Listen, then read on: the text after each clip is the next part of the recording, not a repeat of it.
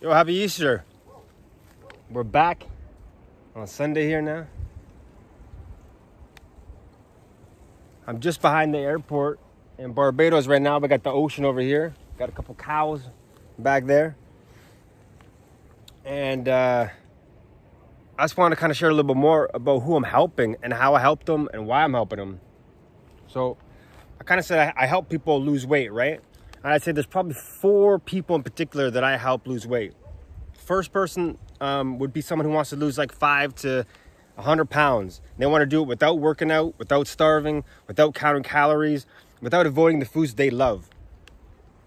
I say the second person I help is someone who just wants abs and they don't know how to get abs and they want the fastest, easiest, maybe even laziest route there. So I help people do that.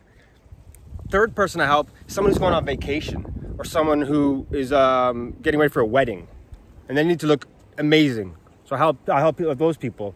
And I'd say the last people I help um, are people who need to lose weight because they have a surgery coming up. They, they have a hernia surgery, and the doctor says, Look, you need to drop 30 pounds. And they're just not sure how to do it. They want to do it fast, but they don't have a lot of time, and they want the simplest route to their result.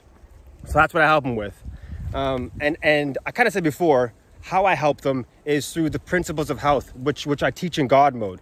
You know, you follow these principles and you just get results, right? You you know, you do what the body wants you to do, and like the weight just falls off effortlessly and and um, back to why I'm helping is I learned this stuff and I want I want to fast track people. I want to save people the pain and the time so you know they can get the results they want um, with a lot of effort. You know, I kind of I, I did all, I want to say I did all the hard work so that you don't have to.